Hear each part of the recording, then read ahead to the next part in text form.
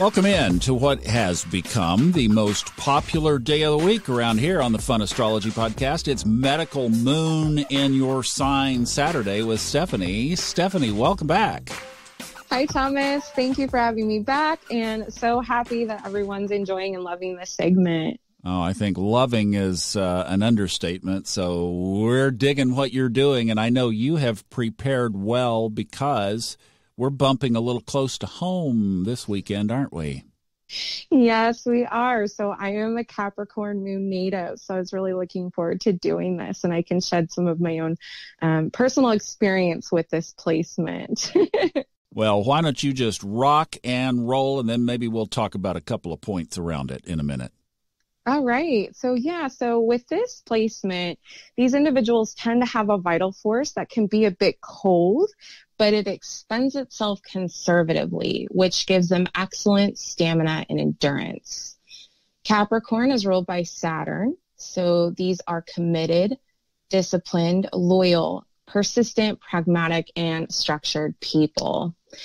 Capricorn's a cardinal earth sign, so things need to be fresh and new, and elements of structure and sensuality need to be incorporated for them. And they do best with a structured healthcare routine. Areas of health focus for them are the skeletal system, including the bones, cartilage, teeth, and joints, specifically the knees, and the skin they are very hardworking individuals and they can really thrive with a disciplined regimen and they will work hard to accomplish all of their goals.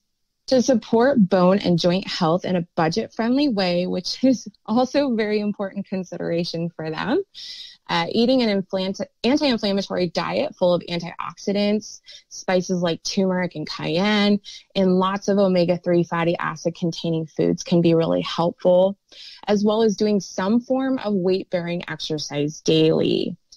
Vitamin K2 and D3, glucosamine, MSM, chondroitin, these are supplements that can be really supportive for bone and joint health. Uh, but of course, as usual, what I say is just please check with your healthcare provider before you start anything. And I want to mention these individuals, myself included, they usually do not ask for help. They're quite self reliant in nature and they can often have restrained, tense emotions in order to maintain a sense of public composure they can really push past obstacles that others get stuck on, but this often can result in physical issues if not kept in check. They're very prone to burnout. So things like sensitive stomach, uh, deficient digestive enzymes, touchy gallbladder, dry mucous membranes of the stomach lining can pop up if they're not keeping that in check and they're burning the candle at both ends. I know I myself have definitely um, had issues with burnout. So uh, that's something that I'm very mindful of now going forward. And also supporting digestion. So things like bitters, herbs, and relaxing before sitting down to a meal is really crucial. And then looking into digestive support herbs. So things like betaine HCl, milk thistle, fennel, anise, and apple cider vinegar can assist digestion. And I myself use all of those at every meal. They also really help support liver function, those herbs I just mentioned, which can often be slow in this placement. Um, also, sensitive skin can be a big issue for Cap Moon natives and Capricorn in general. So supporting optimal skin health, staying out of the sun, you know, avoiding sunburns, drinking plenty of filtered water, investigating whether common food allergens like dairy or wheat could be contributing to things like acne or dermatitis, and avoiding highly fragrance face and body products, and also using fragrance free laundry detergent are important. Getting yearly skin checkups at the dermatologist is also crucial because these individuals are prone to freckles, moles, and sunburn. And just in general, the skin uh, for Cap Moon natives seems to be quite fair and, and it, it's sensitive. So just supporting that um, in general can can be something that's really important. I know I myself have had a lot of reactions to different types of things on my skin, so I also have to watch for like fabrics that I wear, which is kind of fascinating. So I tend to prefer cotton um, as opposed to things that are you know, um, more man-made like polyester. Another important to mention is that even though this sign is known for their endurance and their incredible amount of physical resources, they become depleted because they don't know how to replenish and recharge often. You know, usually it's an illness or something like cold or flu or an injury that will actually finally get them to stop and rest.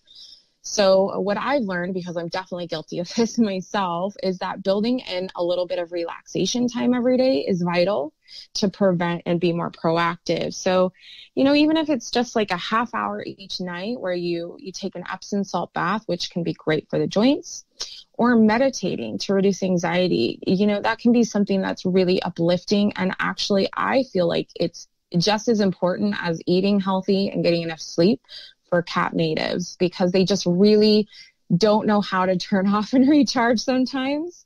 Um, so putting it in a schedule, um, which is something also Capricorns love, can really, really help ensure that they're getting that every day.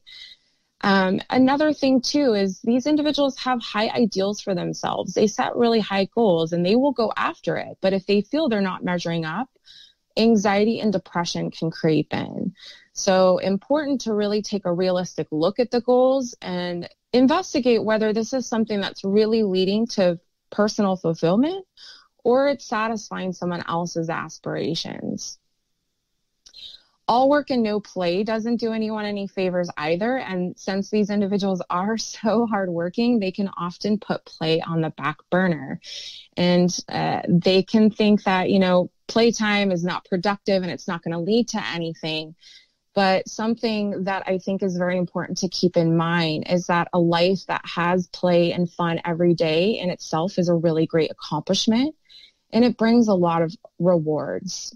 So fun things for play for CAP can be like going for a hike, which is a, a, wonderful way to get in touch with the, you know, the goat, the totem for Capricorn and the affinity for mountain climbing and the outdoors. And that also can help release pent up stress and just get your mind off the everyday grind. Um, and flower essences that are really helpful for Cap Moon natives are vine to help relieve some of the stress associated with big responsibilities that Capricorn Moon natives will take on and Mimulus, which inspires courage and confidence in the face of a lot of pressure. Stephanie, that was awesome as always. Thank you so much. Uh, I've got a couple of questions for you. And the first one I wrote down was right there at the beginning. You mentioned, you might want to even go back in your notes and look at this. You mentioned sensuality. Mm-hmm. Now, I'm not going to say what he said Y'all have to buy the book if you want to. It would be in the Book of Earth. But Steve Forrest had a very interesting comment about sensuality and Capricorn. it wasn't derogatory. Or well, it, it could be misconstrued. Let's just put it that way. And I'm not going to repeat it, but it was, let's say, calling into question the sensuality element. Now, I know this is your sign, and I don't want to get too personal here, but where does sensuality fit in with the, as we otherwise think of, the kind of, you know, the practical, uh, focused, head down, a little bit furrowed brow kind of image that we would have of the mountain goat? yes. So this is a great point um, because I do think you are correct. Cap is probably the least sensual of the earth signs, but they are an earth sign and they do have that affinity for nature and that connection. And then also they rule over the skin. So I think touch is really important and considering how things feel on the body for them. Um, I know me personally, like I mentioned earlier, I need to have certain things on my skin that feel good. I can't wear certain fabrics. I actually have an allergy to wool. Um, and my skin will get really red and scratchy. So I also don't feel comfortable if my body's constrained in certain fabrics or certain clothing items. And I need to feel kind of free. So I like having the structure of clothing, but it can't be so much that I can't feel like I can move and I can breathe. And, and then also, you know, moving the body and that connection with sensuality. I think just kind of every day, that's something that I keep in mind of my body movement and how I'm interacting with my environment. And I don't know if really fire signs or air signs think of that as much. So I think that's where the sensuality comes into play. But I, I do think you are correct. I think it's something that they that Capricorn needs to kind of almost be a bit more mindful on to tap into that side because uh, it is a really important component for them. Boy, a couple things on the fabrics. This is really cool. There is an you can do a study on this, and there's not a lot online that you can search, but there is a little bit, and it's around the energy of different fabrics. And you mm-hmm. mentioned cotton. Organic cotton is one of the higher ones. Linen, and actually wool is too. But of course, I get the uh, the obviously sometimes that reacts, but you're talking about needing to wear some high energy types of clothes. And I found just a couple of weeks ago up at a little shop uh, an hour up the road here some of the most amazing, like really spiritual shirts, t shirts. And I am working with the people up there to see if we can figure out how to distribute them so that people can buy them off of the website.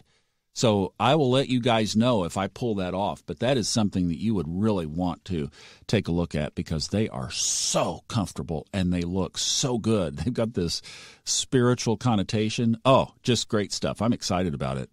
That's amazing. And I definitely want one of those shirts because it is really hard to find, I think, organic cotton. And I want to support any company that's doing that kind of work uh, it really does make a difference. I think personally when I wear cotton and I think man-made fabrics like polyester, I think nylon and rayon, those kind of things, they may be cheaper, but I find that they don't last as long and they're not as comfortable to wear.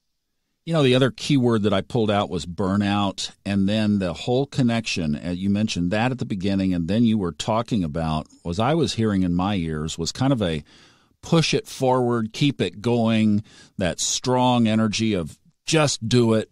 Aries and Aries mm. and Capricorn, of course, are cardinal signs. But then also, we were talking about a little bit of this work focus, Virgo. So there's kind of an interesting blend between cardinal and the earth element. Mm, yes, excellent points. You're absolutely right. Yes. So the cardinal, that action oriented, go get it done, definitely in Capricorn natives.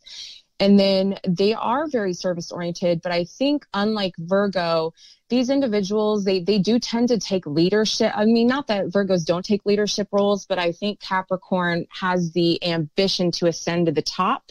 They want to be on top of that mountain. They want to be the leaders that delegate and, and get things done. Um, so they definitely have that boss energy in my mind. Um, I've actually had a couple Capricorn bosses.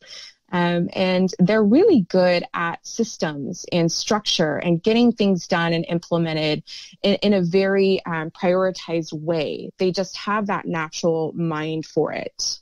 They are excellent workers. My dad, as I mentioned, was a Capricorn sun and uh, he was promoted. He was a stockbroker, retail stockbroker for years and years and years. Started back in the 1950s and was quickly promoted to assistant manager and then eventually manager of his branch and was so for 30 something years. I mean, just for a long, long time.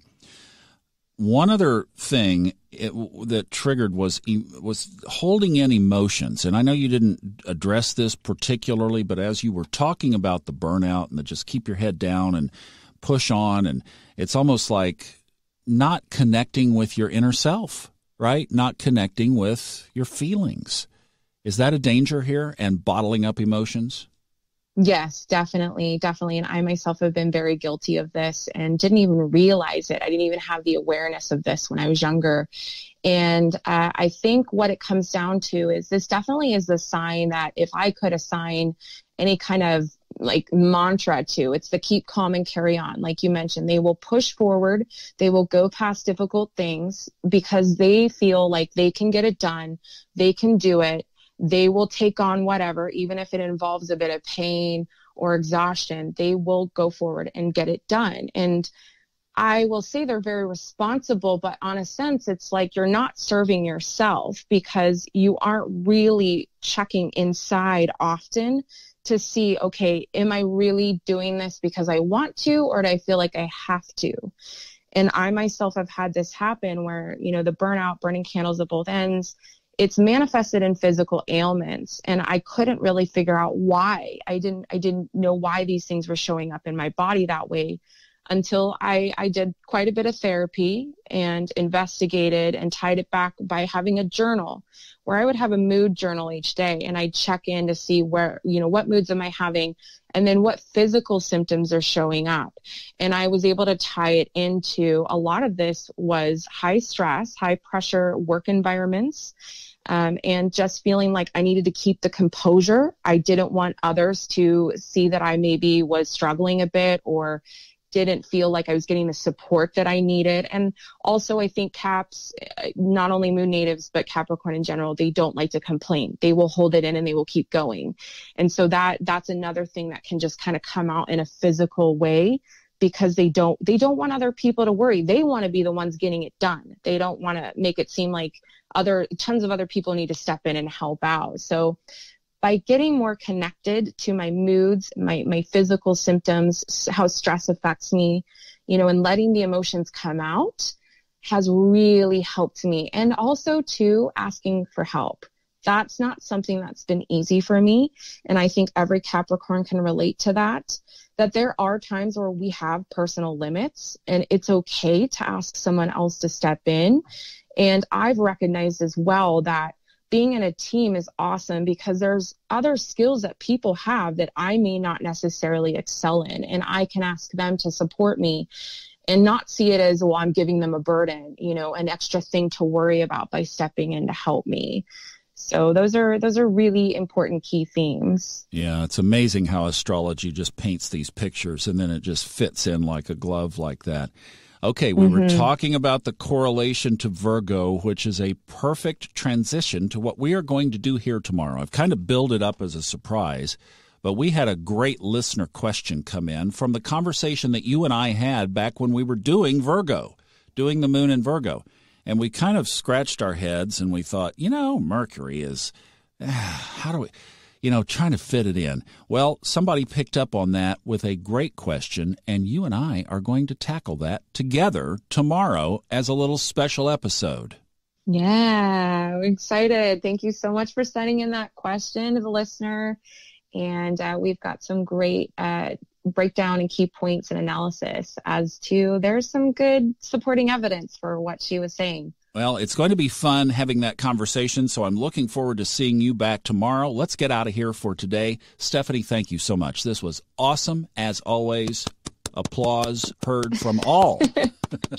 thank you, Thomas. And thank you so much to the listeners. I'm loving this and we're getting close to the end. So I hope all of you are getting your medical astrology questions ready because we're going to start doing segments on those. Yes, send them to the SpeakPipe at the top of the website, funastrology.com, or send them via email if you would like, info at funastrology.com. I'm really looking forward to getting all of your questions, and I can't wait to bring you more information and helpful things to support and empower your life. Have a great week. I'll see you guys next week.